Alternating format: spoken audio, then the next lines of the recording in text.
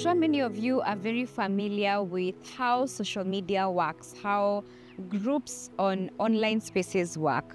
It's so interesting that, and this is not affiliated to any partnership or anything like that, but I wanted to specifically zoom into this um, WhatsApp groups that, you know, many of us, especially here in Africa and also in Kenya, are a part of. And unlike very many other social media platforms like Facebook or Instagram or YouTube or TikTok, whenever you leave those social media platforms, nobody will get to know per se that you have left, you know.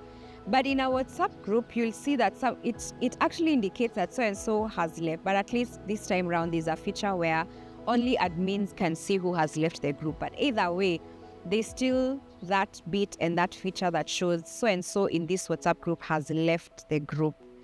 And it just made me realize how not just leaving a group, that's a setting where you're in a social media space, you're in an online group.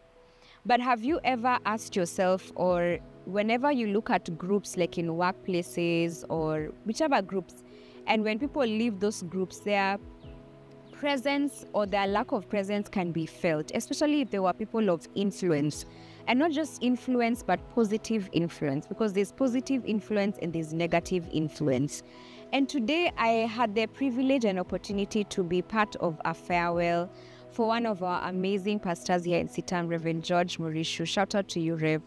And we were doing his farewell, and um, many of us had an opportunity to just chat around the table and do a reflection of how our impact, how he has impacted our lives.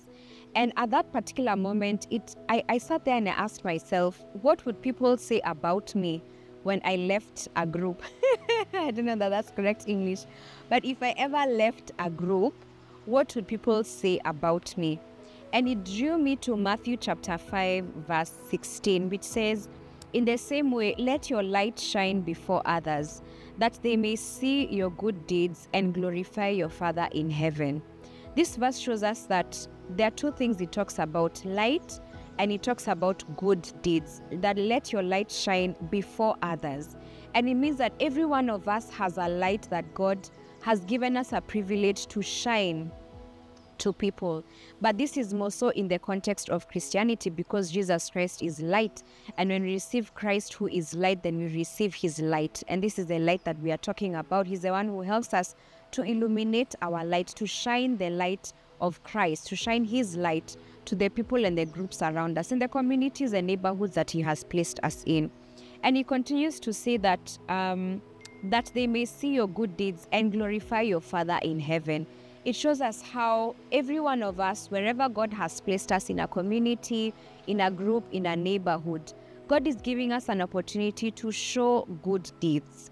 And so, this is just to ask you we are now down to towards the year we're getting into the we've actually gotten into the last um, quarter of 2024 have you shown a good deed towards someone around you, towards a group you're in, towards um, in the community that you are in?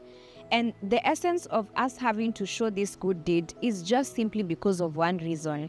So that the people that we are serving with, or the people that are around our community, or the people that are around the group we are in, can glorify our Father in heaven, that they will see us and they will see the light of Jesus in us. They will see us and they will see the good deed. They will see that truly this is a servant of God. Truly this is a child of God. Why?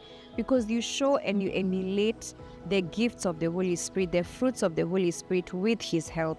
And so this is a video just as it challenged me in that particular point when I was seated on that boardroom around the table. Um, this video is to challenge you also. Is there that one? What will people say about you when you leave a group? What will people say about you when you're transitioning from one season of your life to another? Are they going to say that you shone your light? Are they going to say that um, they saw your good deeds and they're able to glorify God who is in heaven? Or did they see bad deeds? And you know, sometimes also in group settings, it's very easy to rub shoulders with people. It's very easy to um, to be find yourself in a conflict or, or uh, so and so and something of the sort. But God has given us an opportunity for reconciliation to reconcile.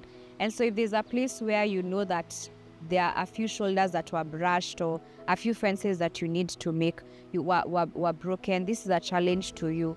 um, that you should go ahead, you know, and reconcile with those people so that your Father in heaven can receive all the glory.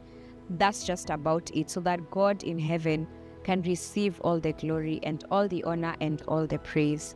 Thank you so much for watching this video please go ahead and share it with your loved ones, share it with somebody um, out there, and uh, also place it on the comment section. I mean, you can write on the comment section how it has impacted you, how it has challenged you, and looking forward to hearing from every one of you. Please connect with us on our social media platforms right here on CITAM Church Online, Facebook, X, Instagram, YouTube, and TikTok. Until next time, God bless you.